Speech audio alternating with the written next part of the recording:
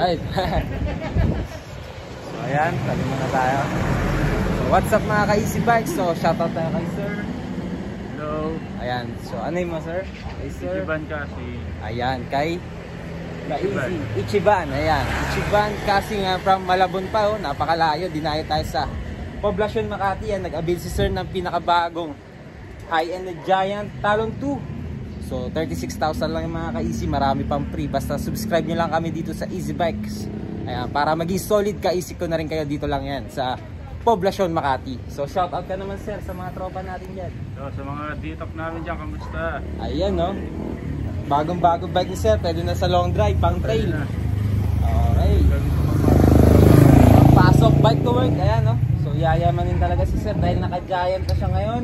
So alloy na yung frame. SR Santor na yung tinidor, ayan no. So 29ers, ayan, pang masculine talaga. Maxis 9 tires, so napakakapal. So 29 by 2.25 yung kapal. Siyempre naka-Acera na yung group set. Shima- Shimano Acera yung RD. Yan, naka 8 speed. Tapos naka Shimano Altus yung FD 2 by. Ayan, so halos Shimano na lahat. Naka SR Santur, quick release yung gulong. Ayan o, na 180mm yung rotors, syempre. Shimano na yung shifters and yung hydraulic brakes Tektro na, napakatibay. So sulit na sulit sa 36,000. So naka giant soft saddle pa yan, alloy seat post 31.6.